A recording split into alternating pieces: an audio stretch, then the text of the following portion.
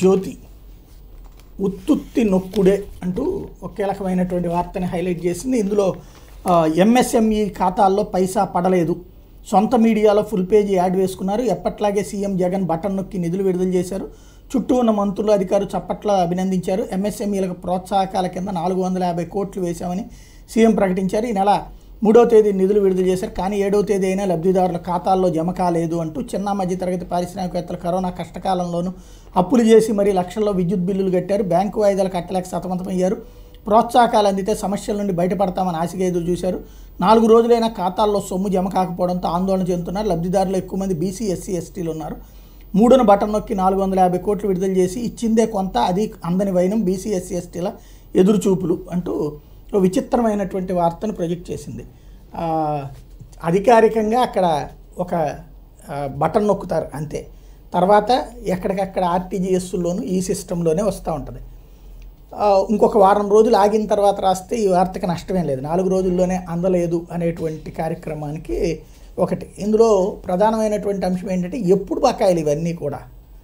ఈ ప్రభుత్వం వచ్చిన తర్వాత ఇవ్వాల్సినటువంటి బకాయిలు అయితే ఈ రెండేళ్ళలోది ఉండుండాలి. అంతకుముందు ఉన్నటువంటి అన్ని ఎప్పటి ఐదేళ్ళ బకాయిలు కట్టారు? ఎప్పుడన్నా ఎంఎస్ఎంఈలకి రిలీజ్ చేశారా? రాజశేఖర రెడ్డి టైంలో చేశారు. కన్నా లక్ష్మీనారాయణ మంత్రిగా ఉండి చేయించారు.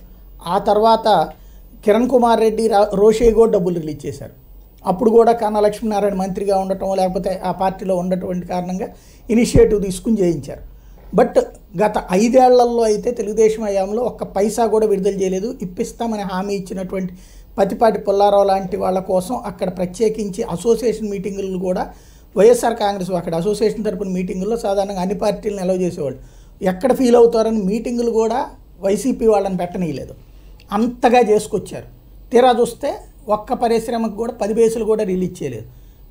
మద్దాలగిరి ఎమ్మెల్యే లాంటి వాళ్ళకు కూడా అలాంటి బకాయిలే. ఆ తర్వాత ఆయన పార్టీ మారడం లేదంటే కనుక పార్టీకి దూరం కావడానికి కారణమైనటువంటిదిలో ఆ బకాయిల వలన రావాల్సినటువంటి కోట్ల రూపాయలు అన్నటువంటిది కూడా వినబడ్డటువంటి అంశమే.